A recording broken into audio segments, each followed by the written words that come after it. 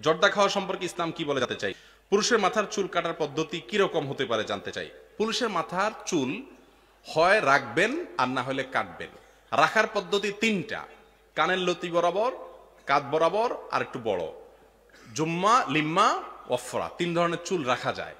আর যদি কাটেন, ছোট করেন, তাহলে পুরা মাথার চুল ছোট করবেন, সমান করে। কিন্তু মাথার এখান দিয়ে কয়েকটা চুল রাখলেন, এদিক দিয়ে চাইছে ফেললেন। এদিক দিয়ে একেবারেই জিরো মারলেন মেশিনে, এদিক দিয়ে একেবারে বড় বড় আপনার তাল গাছের আঁশের মতো। এরকম অনেক ফুটবলার রাখে রাখে কি রাখে না? তো এদের দেখে দেখে আমাদের অনেক যুবকরাও রাখে। আছে না নাই? এটাকে হাদিসের ভাষায় বলা হয়েছে কাজা।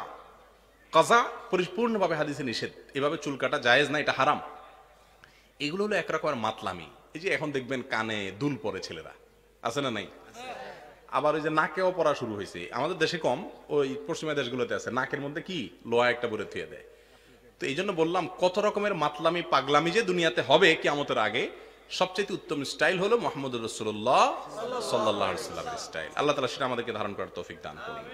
জর্দা খাওয়া সম্পর্কে ইসলাম কি বলে জানতে চাই? ভাইরা আমার, জর্দার মধ্যে যেটা মিষ্টি জর্দা, বিশেষ করে এটা আমাদের চাচাদের মুরব্বীদের শোনা দরকার। মিষ্টি জর্দা যেটা, শুধু গ্রানের জন্য খাইলেন যদি ক্ষতিকর কিছু না থাকে, এটা জায়েজ আছে। কিন্তু তামাক যে জর্দা আছে, সেই জর্দা খাওয়া জায়েজ হওয়ার কোনো রাস্তা নাই। মুশকিল অনেক হুজুররাও খায়। কোথায় থুতু মারবো? নিজের গায়ে আসবে। কিন্তু উপায় নাই। তামাক, এটা সিগারেটের ভিতরে ভরে টান দিলে সেটা যদি না জায়েজ হয়, তাহলে এটা ডাইরেক্ট চাবায়া চাবায় খেয়ে ফেললে তো ডেঞ্জারাস ব্যাপার হয়ে যাবে। ঠিক না ঠিক আর দ্বিতীয়ত হলো মাহাররামা কালিলুহু মাহাররামা কাসিরুহু ফাকালিলুহু যে জিনিসটা বেশি খাইলে হারাম হয় ওটা অল্প খাইলেও কি হয়? হারাম আপনি বলবেন, আমি এক চিমটি খাচ্ছি, ওই এক চিমটি হারাম। কারণ তামাক মুঠ ভরে যদি কেউ তামাক খায়, আপনি তাকে জায়েজ বলবেন? তাহলে অল্প খাওয়া কি হবে না? জায়েজ হতে পারে না। এই জন্য পান খান। পান খাওয়াকে হারাম বলা যাবে না। কিন্তু কিন্তু পান খাওয়াটাও আসলে আল্লাহ মাফ করে এটার উপকারিতা কি? এটা কি পেট ভরে? কি বলেন? কোনো উপকারে আসে? এটা যে চাবাইতে থাকে চাবাইতে থাকে, এটার উপকারিতাটা কি? এটি একটা অভ্যাস সোজা কথা।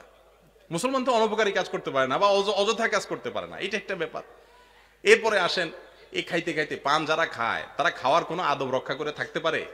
হাইটে হাইটে খায়। ওলামা একরাম জানেন মহাদ্দিসিন একরাম আগের যুগে যারা হাদিস বিচারক ছিলেন, রাস্তায় হাইটা বাদাম খাইছে কোনো লোক, তার কাছ থেকে আর হাদিস নিত না।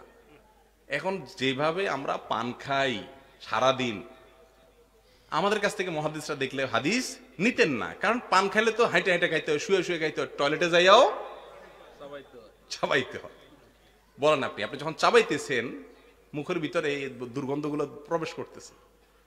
অতএব এটা কোনো ভালো বা প্রশংসনীয় কাজ। তারপরেও সেটা আরেক বিষয়, কিন্তু জর্দার বিষয়টা বলছি যে তামাক থাকে সে জর্জা খাওয়া কি হতে পারে না, জায়েজ হতে পারে না। এই জর্দা যদি আপনি শুধু জর্দা খান, মাথা ঘুরাবে কি ঘুরাবে না? অতএব আর আরেকটা জিনিস হলো, আল্লাহ বলেছে ওলাতুল কবি এদিক মিলাত তাহলুকা। তোমরা নিজেদেরকে ধ্বংসের দিকে ঠেলে দিও না, নিজেদের ক্ষতি নিজেরা করো না। জর্দায় কি লাভ না ক্ষতি? অ্যাবসুলেট ক্ষতি। একেবারে পিওর ক্ষতি। এখানে কোনো লাভের দিক সন্দেহ পরিমাণ নাই। এই জন্য সরকারিভাবে আমি যতটুকু জানি, অনেক জর্দার ব্যাপারে নিষেধাজ্ঞা এসে গেছে। কারণ এটা বিষ, মানুষের জন্য ক্ষতিকর। বিদায়, এটা আমরা খাব না। ঠিক আছে তো, ইনশাআল্লাহ।